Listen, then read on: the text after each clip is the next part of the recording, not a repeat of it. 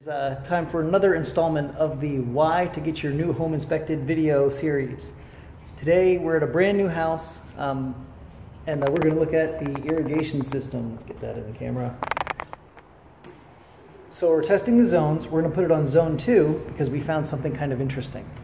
Not too big of a deal in and of itself, but it is something you would want to get corrected and you would probably want to know about if you were buying a new home.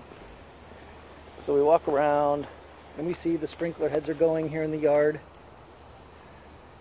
as you would expect.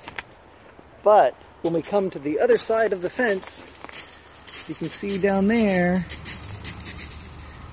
this one is watering the neighbor's yard.